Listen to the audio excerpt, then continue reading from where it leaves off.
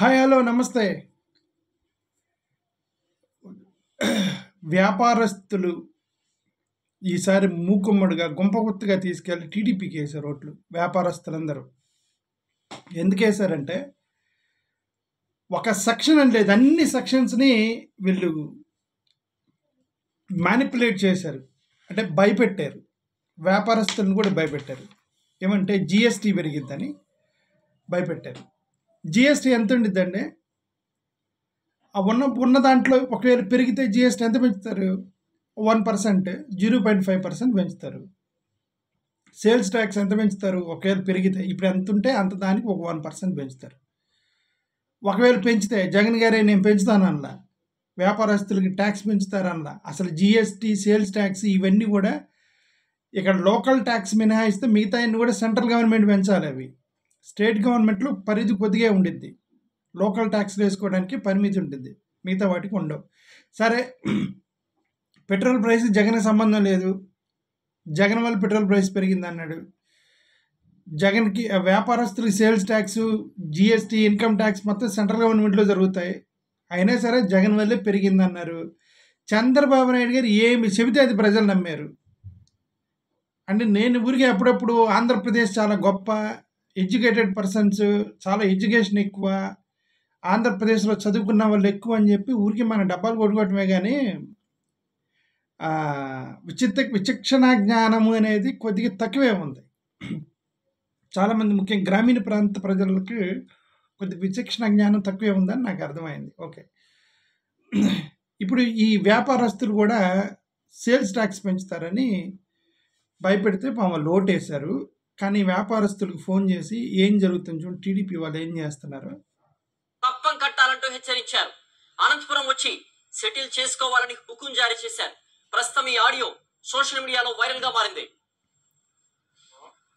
బాబు స్నేహ company చెప్తానా మాట్లాడేది? Anantapur incharge నువ్వు మీరు ఎవరండి నువ్వు ఇన్ఛార్జ్ అనంతపూర్ స్నేహ కంపెనీ అనేది చెప్తానా నీ పేరు? అన్నా. ఎవరో చెప్పండి. నేను ఒకటే చెప్తున్నా ఎవరో అప్పుడు తెలుస్తావు నువ్వు చేయనన్నావు అనంతపూర్లో నీవెవరు నీవెవరు చెప్పు ఫస్ట్ గణేష్ నాయుడు. గణేష్ నాయుడు. ఆ, ఏం చేస్తారు టీడీపీ పార్టీ ఆఫీస్ నాది. ఆ, ఓకే చెప్పండి. ఆ, అర్థమైందా? ఇంకా చెప్పాలా నీకు క్లియర్గా నువ్వు ఎక్కడున్నావు ఇప్పుడు? నువ్వు డైరెక్ట్ నా దగ్గరికి వచ్చి కలిసిపో. నేను ఇప్పుడు హైదరాబాద్లో ఉన్నాండి అనంతపూర్ రా నేను నీతో మాట్లాడు నీ ఆఫీస్ తెలుసు నీ మొత్తం ఎటు తెలుసు నాకు. మరి రేపు నుంచి అమ్ముకుంటారా మీరు? ఇంతవరకు ఏదేదో మాట్లాడినావు? ఏదేదో కాదు మీరు మీ విషయం చెప్పండి ఏంటో చెప్పండి ఎట్లా? మీరు దేనికోసం చేశారు ఏం కావాలి మీకు ఏంటి చెప్తే చెప్తా నేను. ఎప్పుడు వస్తున్నావు అనంతపూర్కి మేము టూ త్రీ డేస్ అవుతుంది. ఏం ఏంటి చెప్పండి మీరు విషయం మార్నింగ్ నుంచి నీ వెహికల్ తిప్ప అనంతపూర్లో చూద్దాం. నేను చూసుకుంటా ఇప్పుడు. నా విషయాన్ని చెప్పుకోవాలా? నువ్వు వచ్చిన విషయం దగ్గర సార్ విషయం చెప్పుకోవాలి? నువ్వు వచ్చిన దగ్గర. గుర్తు పెట్టుకో ఎవరితో మాట్లాడు అర్థమవుతా నీకు? కంపెనీ ఎంప్లాయీ అండి నేను. కంపెనీ ఎంప్లాయ్ కంపెనీ ఎంప్లాయ్ లాగా నేను చెప్పాలా నీకు సమాధానము. మీకు ఏం అవసరమో మీరు ట్రేడరా? మీరు ఎవరు? ఏంది? తెలిస్తే నేను సరే. ఆడియో సింపుల్ సారాంశము. అంటే ఈ ఆడియోలో వాళ్ళ ఆలోచన. ఇది నేను వీళ్ళ తప్పని నేను అంటలే. నేను స్టార్టింగ్ నుంచి కూడా ఒకటే చెప్తున్నాను ఏంటంటే పైన పైనుంచి వచ్చినటువంటి ఆర్డర్ అవసరం లేదు. పైనుంచి ఇన్స్ట్రక్షన్ అవసరం లేదు. పైనుంచి ఆర్డర్ అవసరం లేదు. పైనుంచి మోడల్ వస్తే చాలు. ఒక మాదిరి రోల్ మోడల్ అంటారు. ఇప్పుడు సచిన్ టెండూల్కర్ ఫ్యాన్స్ చాలామంది ఉంటారు. అంటే క్రికెటర్ ఆడేవాళ్ళు సచిన్ టెండూల్కర్ని దేవుడిగా భావించే వాళ్ళు ఉంటారు. నాన్న నా నాతో సహా. నేను I also fan of Sachin Tendulkar. Sachin Tendulkar ఏ విధంగా షాట్లు కొడుతున్నాడో ఏ విధంగా ఐ మీన్ హీ బ్యాటింగ్ చేస్తాడో దాన్ని అనుకరించడానికి ఆయన ఫాలోవర్స్ ట్రై చేస్తారు గ్రౌండ్లో. సాధారణంగా జరిగేది అది. అదేవిధంగా ఇప్పుడు ఎవరో సినిమా హీరో మహేష్ బాబు ఉన్నాడు అనుకోండి Mahesh Babu fans follow out అని ట్రై చేస్తారు. పవన్ కళ్యాణ్ గారు పవన్ కళ్యాణ్ గారు ఫ్యాన్స్ పవన్ కళ్యాణ్ గారి బాడీ లాంగ్వేజ్ అలా ఉంటే అలా ట్రై చేస్తారు. రాజకీయాల్లో కూడా అంతే. పైన ఉన్నటువంటి మీ రోల్ మోడల్ ఒక నాయకుడిని చూసి మీరు ఫాలో అవుతారు. ఆ పైన జరుగుతున్నటువంటి ఈ ఈ యొక్క పై పైన కొద్దిగా జరిగేటువంటి ఆ బెదిరింపులు హత్యలు ఐ మీన్ గొడవలు ఇవన్నీ కూడా రోల్ మోడల్గా వెళ్తాయి కిందకి. వీళ్ళు ఇన్స్ట్రక్షన్ ఇవ్వాల్సిన అవసరం లేదు. సపరేట్గా వాళ్ళకి ఫోన్ చేసి ఇట్లా స్నేహ కంపెనీకి ఫోన్ చేసి బెదిరించండి వాళ్ళ పై ఆఫీస్ నుంచి చెప్పాల్సిన అవసరం లేదు. మీరు వేరే వాళ్ళకి ఏదో చేసినప్పుడు ధైర్యంగా మాట్లాడినప్పుడు మా ప్రభుత్వం ఇప్పుడు అచ్చెన్నాయుడు గారు అన్నట్టు మా కార్యకర్తలు వచ్చారు మాకు పచ్చొక్క వేసుకున్న ప్రతివాడికి మీరు భయపడాలా అన్నారు కదా. ఆ మాట చాలు. రాష్ట్రం మొత్తం వెళ్ళి పచ్చ చొక్క పదివాడు ప్రతివాడు బెదిరించారంటే పచ్చ పచ్చ చొక్క ప్రతివాళ్ళు బెదిరించడం మొదలెడతారు ఇప్పుడు. ఇప్పుడు అలానే ఇప్పుడు అనంతపూర్లో జరిగినటువంటి ఒక ఒక కన్వర్సేషన్ బయట పెట్టారు సాక్షి వాళ్ళు. దీంట్లో కూడా ఆయన ఆలోచనల గురించే మాట్లాడుతున్నాను. ఆ నాయకుడి యొక్క ఆలోచన ఏంటంటే ఒకటి నేను వచ్చి మీకు చెప్పుకోవాలా? నేను వచ్చి మీకు చెప్పుకోవాలా? మీరు వచ్చి మాకు చెప్పుకోవాలి. అంటే అర్థం ఏంటి? వ్యాపారస్తులందరూ రాజకీయ నాయకుడి దగ్గరికి వెళ్ళి వాళ్ళు సార్ మేము వ్యాపారాలు చేసుకుంటాము. మీ దయా దరుణ కరుణ దయా దాక్షిణాలు ఉంటే మేము ఇక్కడ వ్యాపారం చేసుకుంటాము. మీకు ఏమన్నా కావాలా చెప్పండి. మేము మీకు రోజు రోజు వారి మామూలు ఇస్తాము అని మీరు వచ్చి చెప్పుకుంటే మీరు ఇక్కడ వ్యాపారాలు చేస్తారు లేకపోతే చేయరని డైరెక్ట్గా చెప్పినట్టే కదా అది. వాళ్ళు ఎందుకు టీడీపీ కొట్టేశారు జిఎస్టీ పెరిగిద్దని వేశారు. సేల్స్ ట్యాక్స్ పెరిగిద్దని భయపెడితే భయపడేసారు ఎంత? Zero point five percent one percent. ఇప్పుడు వీళ్ళకి మామూలు ఎంత కట్టాలి? ఒక ఫైవ్ పర్సెంట్ టెన్ పర్సెంట్ మామూలు తీసుకున్నా సరే పోయేది మొత్తం పోలే? ఇప్పుడు ఈ ఒక జిల్లా లెవెల్లో బెదిరిస్తే ఒక గ్రామీణ లెవెల్లో ఒక కిరాణా స్టోర్ని ఆ సర్పంచ్ బెదిరిస్తాడు. ఇక నువ్వు కిరాణా స్టోర్ నడుపుకోవాలంటే నాకు నెలకు వెయ్యి రూపాయలు రెండు వేలు ఇవ్వాలని అక్కడ ఆ లెవెల్లో ఆయన వేస్తాడు. ఏ లెవెల్లో ఆ లెవెల్లో జరిగిపోతూ ఉంటాయి ఇవన్నీ. అంటే రో అంటే ఆలోచన గురించి మాడుతున్నా ఆ నాయకుల యొక్క ఆలోచన. మీరు వ్యాపారస్తులు మీరు వచ్చి మాతో మాట్లాడుకోవాలి కానీ ఏంది నేను చెప్పాలా? ఇంకొకటి.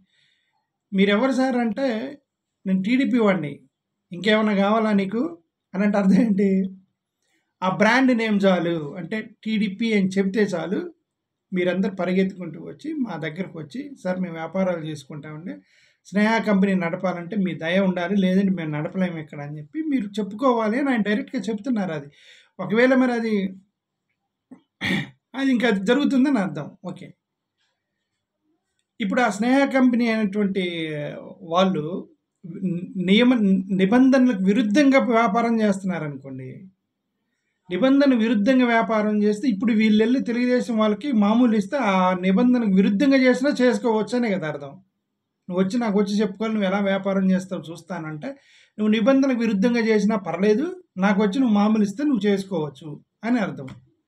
సరే లేదు నిబంధనల ప్రకారమే చేస్తున్నారు వాళ్ళు. నిబంధన ప్రకారం చేస్తే మరి మీరు పొద్దున్న మిమ్మల్ని ఆపుతాము అంటే మీరు ఎంత నిబంధన ప్రకారం నిబద్ధతతో రూల్స్ ప్రకారం వ్యాపారం చేసినా మిమ్మల్ని చేయనీరే అని అర్థం. ఎటు చూసినా సరే తెలుగుదేశం వాళ్ళకి ఇది కనిపిస్తుంది అది. ఓకే. ఇంకా అది తప్ప రైట్ అని మనం అంటాం అనవసరం. యునో ద వ్యూవర్స్కి వినే వాళ్ళకి దాంట్లో విచక్షణ ఎంతవరకు ఉంది అనేది మీకు అర్థమవుతుంది. ఓకే. ఇంకొకటి కూడా తిరుమల ఐ మీన్ శ్రీశైలంలో ఒక భక్తుల మీద దాడి జరిగిందంట అది కూడా ఒకసారి విన్నాను శ్రీశైలం మహాక్షేత్రం సమీపంలో టీడీపీ కార్యకర్తలు రెచ్చిపోయారు. దర్శనానికి వచ్చిన హైదరాబాద్కు చెందిన భక్తులపై దాడి చేశారు. నిన్న అర్ధరాత్రి సమయంలో లింగాలగట్టు ఫారెస్ట్ చెక్ పోస్ట్ దగ్గర భక్తుల కారును అడ్డగించి దాడి చేశారు. అడుగునేందుకు ప్రయత్నించిన ఫారెస్ట్ సిబ్బందిపై కూడా దాడికి తెగబడ్డారు. నేను ఇది అచ్చెన్నాయుడు గారికి చెప్తున్నాను. అచ్చెన్నాయుడు గారు మీ హిందూ మనోభావం అనేది ఆయనకు ఒకటి ఉండిద్ది. ఆయనకు ఒక మనోభావం ఉండిద్ది. అది హిందూ మనోభావం అంటారు. అందుకే నేను మీ హిందూ మనోభావం అన్న. అంటే మీ అంటే ఆయన అంటే అచ్చెన్నాయుడు గారి యొక్క హిందూ మనోభావం గురించి మాట్లాడుతున్నాను. ఆ హిందూ మనోభావం అనేది ఊరికినే ఆయనకి అట్టవుతూ ఉండేది. ఎప్పుడు చూసేటప్పుడు ఎప్పుడంటే అప్పుడు అట్టవుతుంటాడు. వచ్చి ప్రెస్ మీట్ పెట్టి ఉండేవాడు. మా హిందూ మనోభావాలు దెబ్బతిన్నాయి మా హిందూ మనోభావాలు దెబ్బతిన్నాయి. ఇప్పుడు కొట్టింది ఎవరిని? ఎందుకు మీ హిందూ మనోభావాలు దెబ్బతినలేదు అచ్చెన్నాయుడు గారికి?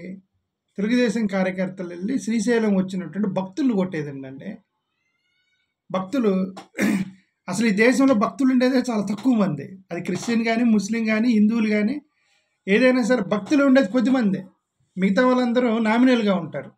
అన్ని రిలీజియన్స్లో.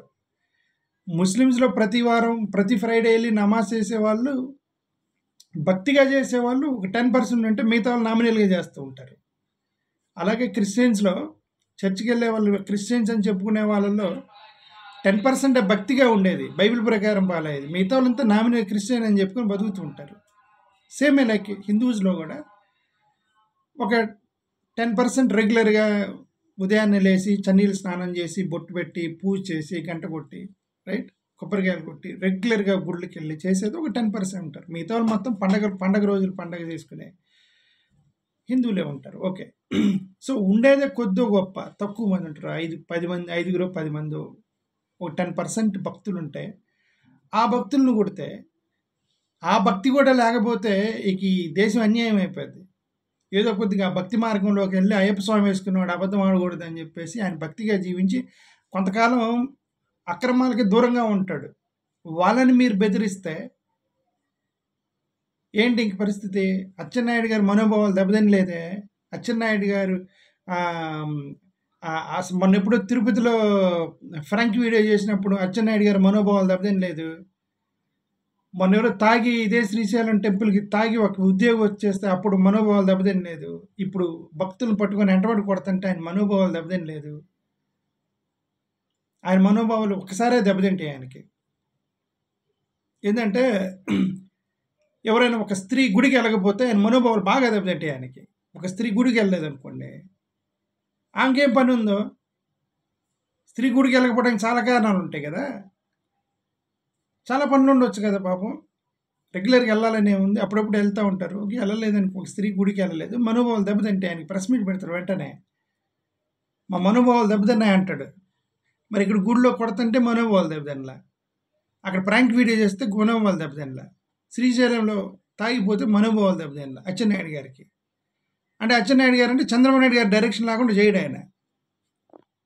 అదే నేను ఎంత I respect the religion and religious faith మతాలని మతం మీద బతికేటువంటి భక్తులు నేను చాలా గౌరవిస్తాను కానీ మతం మీద రాజకీయం చేసే వాళ్ళకి మాత్రం నాకు అసలు గౌరవం ఉండదు నేను I don't respect that you should not politicize the religion మతాన్ని రాజకీయం చేయకూడదు.